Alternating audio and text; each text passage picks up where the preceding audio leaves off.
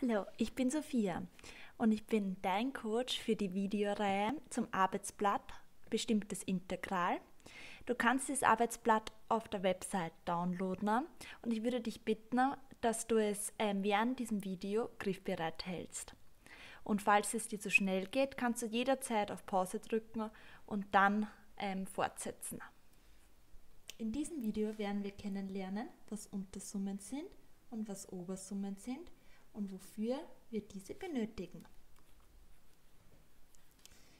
Wir haben hier den Funktionsgraphen der Funktion f abgebildet. Und jetzt wollen wir wissen, wie groß die Fläche A ist.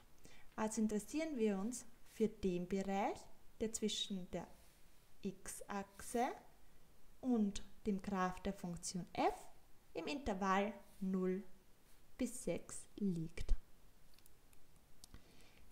Dafür ist es am einfachsten, wenn wir die Fläche annähernd zuerst berechnen. Und dafür teilen wir das Intervall von 0 bis 6 in n gleich breite Teile.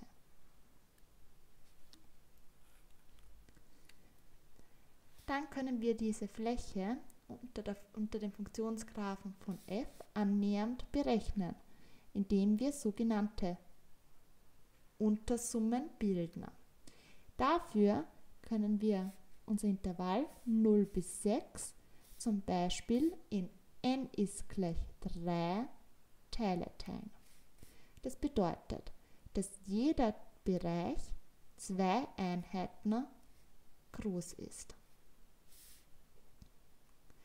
Wenn wir also nun unser erstes Rechteck bilden, schauen wir uns den Funktionsgraphen in diesem ersten Bereich an und suchen uns in diesem Bereich den niedrigsten Punkt des Funktionsgraphen.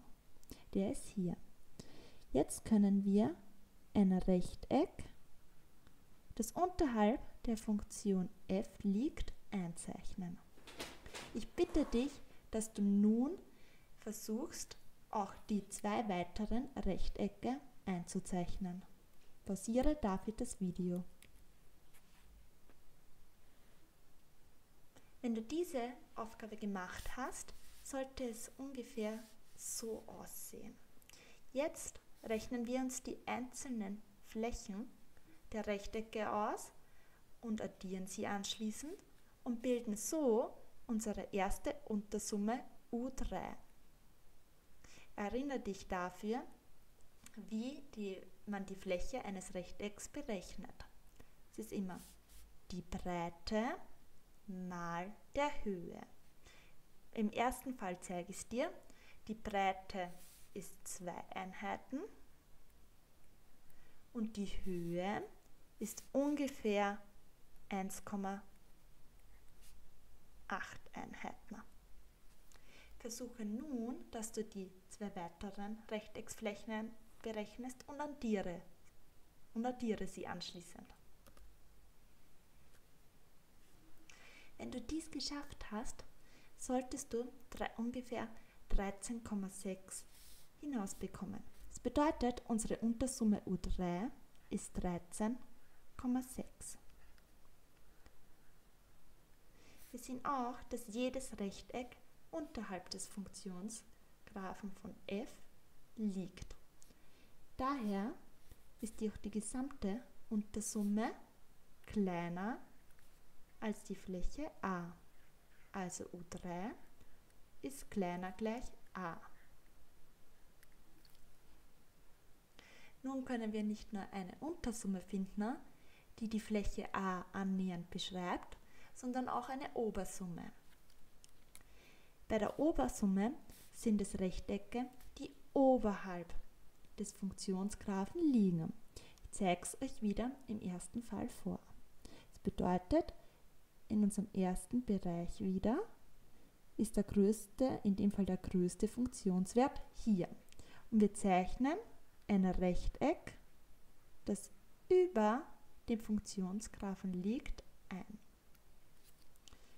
Ich bitte dich nun, dass du das Video pausierst und versuchst, die zwei weiteren Rechtecke einzuzeichnen.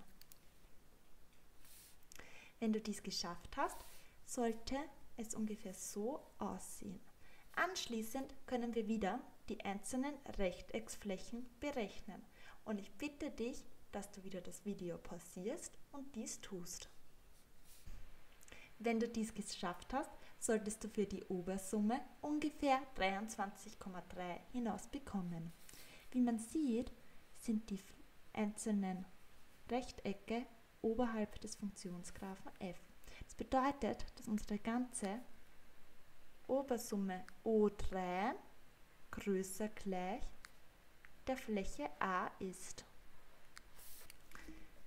Folglich zeigt sich auch, dass unsere Untersumme U3 kleiner gleich A kleiner gleich O3 ist.